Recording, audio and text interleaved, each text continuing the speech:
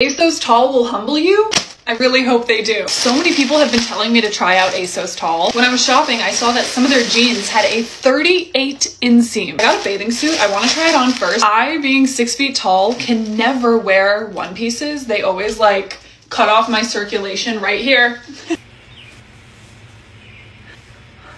I mean, it's not cutting off my circulation anywhere, so I am most excited to try on the 38 inseam. These are literally 25, 38. My first impression is that the denim is kind of cheap looking, but if they fit me like a glove, then I can get over that.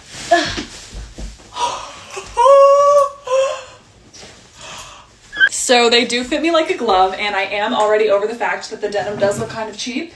Holy shit, these are amazing. I'm going to go get a pair of heels. This is not real.